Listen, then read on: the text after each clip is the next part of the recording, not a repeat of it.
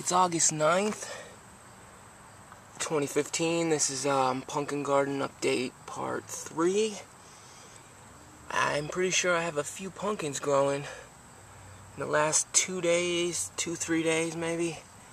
Um, a few of them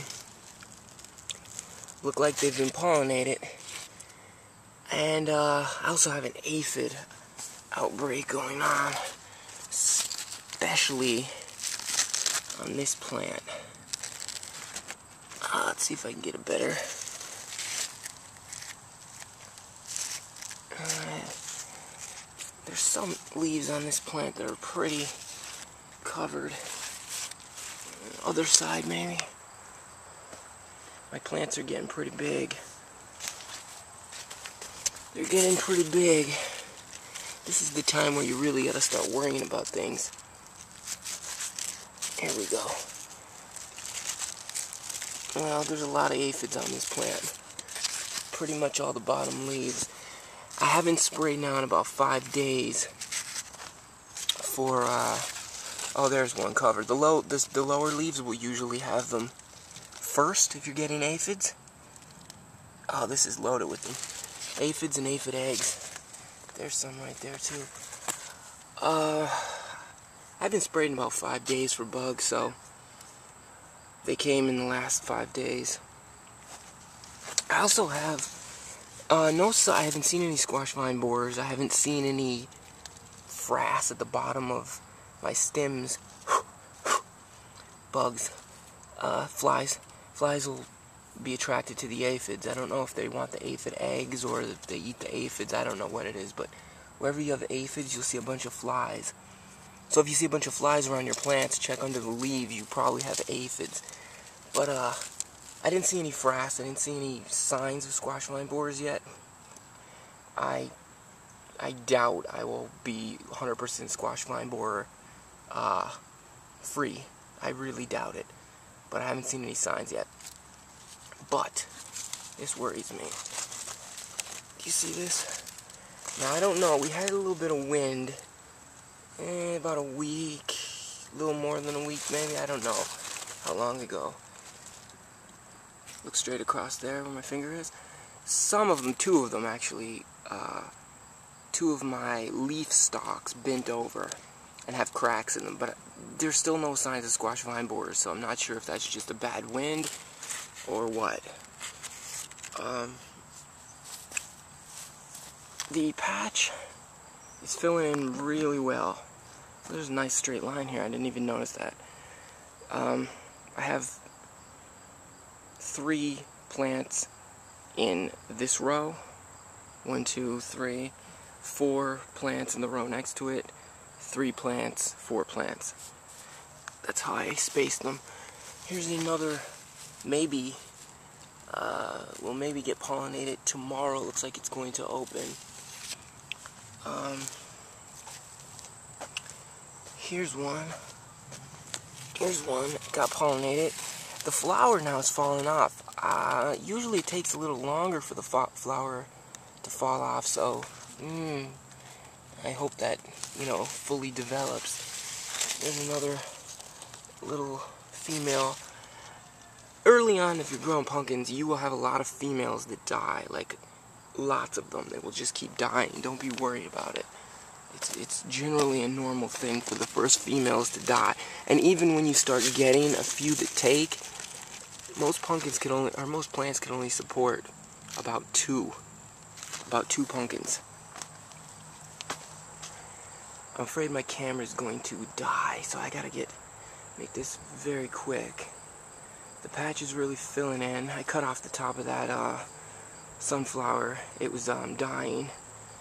Here's a sunflower doing well. The bee on it, two bees. Got uh, there's another um, female. I think that one got pollinated. Don't know.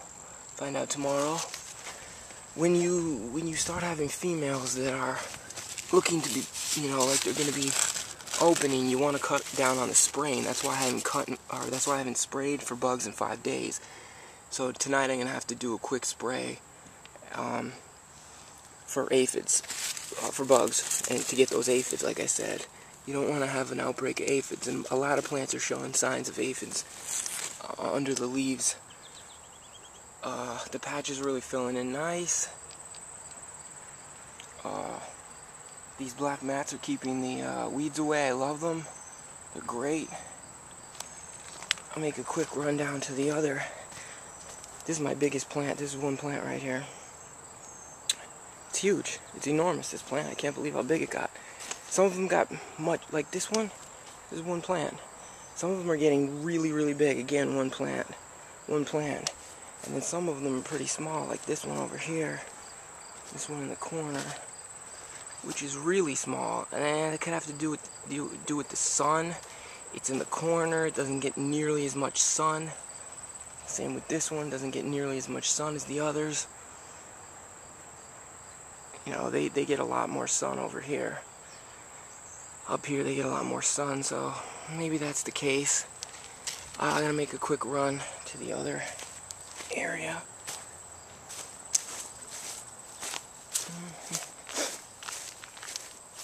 Okay, uh, I just watered these.